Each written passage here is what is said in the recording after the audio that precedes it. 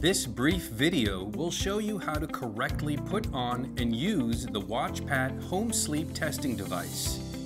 You should put the WatchPat device on when you are already in your pajamas, just before getting into bed. Open the WatchPat case. You will find a helpful illustrated guide uh, in the side pocket. Be sure that the nail on your test finger is cut, trimmed, and without nail polish. Now, remove all jewelry, accessories, and avoid hand cream. This is the snoring and body position sensor. Thread the cable through your pajama sleeve up to the neck opening. Trim or shave chest hair if needed. Peel the backing from the small round sticker of the sensor. Attach the sensor to the sternum a bit lower, just below the sternum notch. If medical tape is provided, please use it to secure the sensor in place. You'll be putting the WatchPat on your non-dominant hand. Here you see how a right-handed person puts the device on his left hand. Place the WatchPat on a flat surface. Insert your hand and close the wrist strap making sure it's snug, but not too tight. Place the probe on the finger that you have been told to use, preferably the index or ring finger. It is normal to feel a little bit of pressure. Insert your finger all the way into the probe.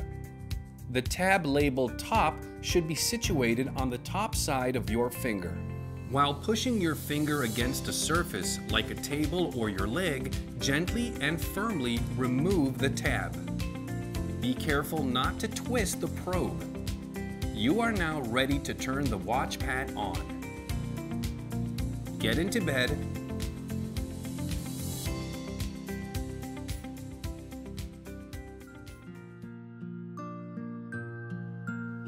Press firmly on the power button until the display lights up.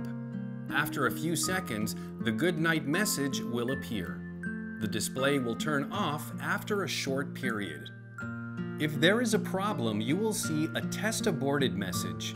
In that case, note the error code and call the help desk. WatchPat is now working properly, and it's time to go to sleep. Good night. And good morning.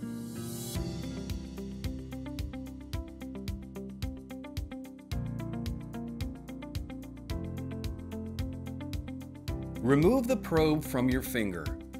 Remove the snoring and body position sensor and remove the device from your wrist.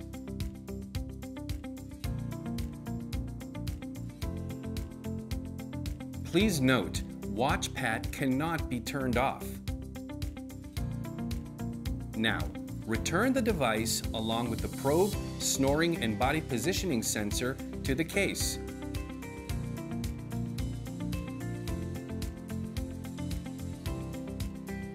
And finally, return the illustrated guide to the case.